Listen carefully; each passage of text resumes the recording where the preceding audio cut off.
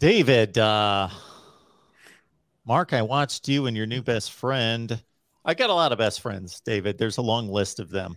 Uh, Steve Deace in the Bigger Ten podcast, uh, the team up north. He has rated to have a more talented roster in than Ohio State in the 22 season. He also mentioned that to me. Uh, what, what are your thoughts about that? So uh, I'll set you guys up with this. I, I think it's pretty common perspective on the Michigan status going into 2022 that they lost, obviously, arguably the best pass rusher in the nation, and his sidekick on the other side. Daxton Hill, tremendous player at safety. Brad Hawkins as well at safety, a really good player. Of course, Hassan Haskins, their workload guy up front uh, that gained all the tough yardage and gained whatever 1500 yards plus a couple offensive linemen so that michigan was a senior oriented team and lost most of its leadership and productivity. But i guess based on the numbers i'm being told that that's not necessarily the case. Is it because of returning x amount of their production? I don't i don't understand. I i i don't understand. I've talked with Steve in the past from from his podcast, so I you know I'm not going to sit there and put somebody that I know on blast, but I fail to I don't I don't understand how he is able to get to that conclusion based on what Ohio State is returning versus what Michigan is returning. Um, yeah, that's something. Well, I know, and he does like actual data and charts everything and see you know the amount of returners and, and all of that but you know like we do a on buckeye weekly podcast every summer we'll do a tale of the tape and just compare ohio state to michigan and which position are you taking are you taking the ohio state quarterback this year are you taking a michigan quarterback this year i think we're all taking the ohio state quarterback you look at the running backs it's, it's TreVeyon Henderson and Miyan Williams against Blake Corum and Donovan Edwards. TreVeyon Henderson outperformed Blake Corum last year. Miyan Williams was a starting court, starting running back at Ohio State at one point. Donovan Edwards caught the ball quite a bit last year. Like, do you want to toss that up? Sure. Uh, whatever. Michigan returns a bunch of receivers, but they're all like above average.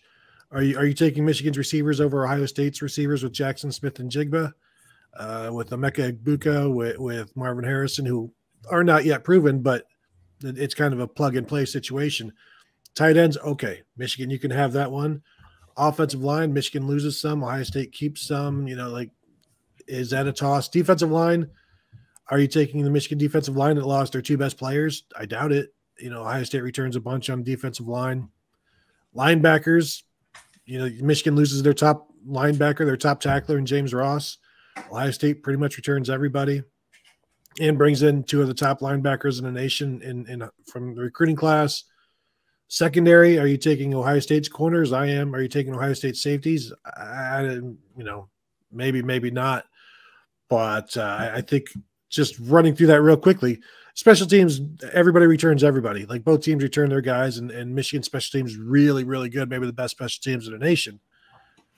But uh, I, I don't, you know, I'd be interested to. I, I, guess I'll have to seek out his his information on that. I think just real quickly there, just checking the list. I think that was more Ohio State than than Michigan. But receivers don't play against the receivers.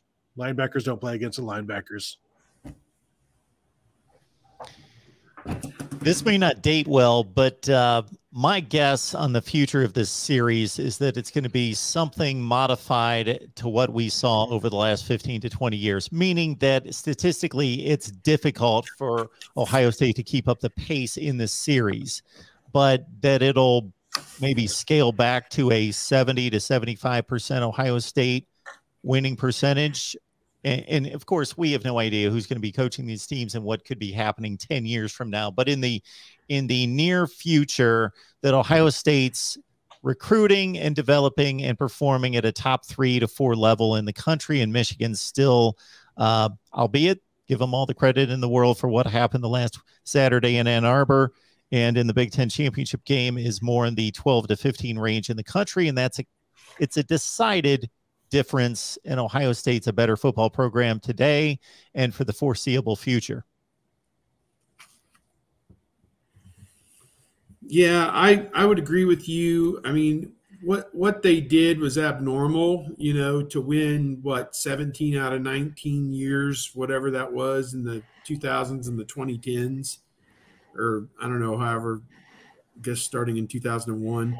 So yeah, I think I think that was a little bit abnormal, and uh, I don't know that it's going to get back to 50-50 anytime soon, but you know, maybe 70 30, something like that, you know, where Michigan might win three times every 10 years. I don't know again, I have seen nothing since the day that game was played to indicate that, that Michigan is going to do this again anytime soon. So, you know, uh, everything, every trending way you want to look at this, it has gone, you know, against them, you know, and, and who or what is to say that they hire somebody after Jim Harbaugh who is actually really, really good at this and gets players to go to school there who haven't been going to school there and knows what to do offensively and defensively and like is competent and you know not not I'm not dumping on Harbaugh. I'm just saying that I don't think he's done a very good job there. And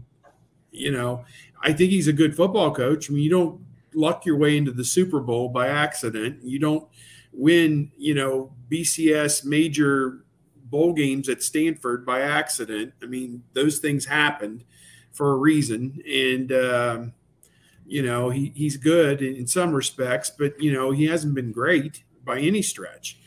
I mean, no stretch. So, um, you know, where Ohio State's had some real rock stars when you come right down to it with Tressel and Meyer and Day. So, you know, that's my way of looking at it. I, I don't think they're any closer today to doing this again than you know they were last year at this time, really. But